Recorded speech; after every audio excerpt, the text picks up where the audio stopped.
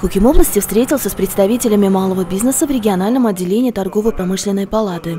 Эти встречи уже стали традицией. Они проводятся регулярно каждый понедельник и позволяют решить наболевшие вопросы, которых у предпринимателей предостаточно. На протяжении недели заявления регистрируются в палате и изучаются ответственными организациями. Спорные же рассматриваются главой областной администрации. В этот раз поступила 31 заявка на участие во встрече, 25 из которых были решены до приема. Остальные 6 в выслушал Аркинджон Турдымов.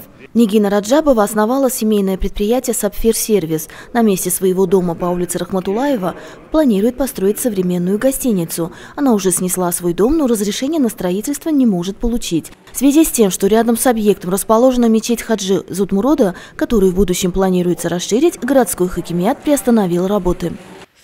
yerni sotib olgansiz shuning uchun buzib tashlagan ustidagi bino yerni qurish uchun sotib olgan ustidagi bino sizga kerak man agar u pulni beradigan bo'lsam sizni pul bilan hisob kitob qilaman.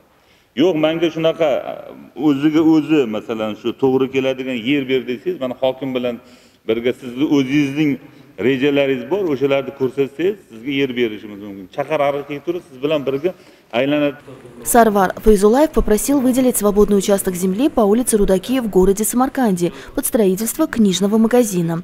С аналогичным вопросом обратилась и Фируза Асланова. Между многоэтажными жилыми домами по улице Гагарина хочет построить мастерскую по изготовлению национальных игрушек из легкой конструкции.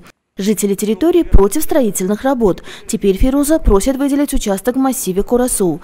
Обоим предпринимателям было разъяснено, что землю можно приобрести на аукционе, а затем провести строительные работы в соответствии с нормами и правилами. Предприниматель Мурат Баратов просит помочь ему выделить кредит 850 миллионов сумму в филиале Агробанка на приобретение спецтехники. Вопрос будет детально изучен Центральным банком и будут приняты меры по оказанию практической помощи предпринимателю.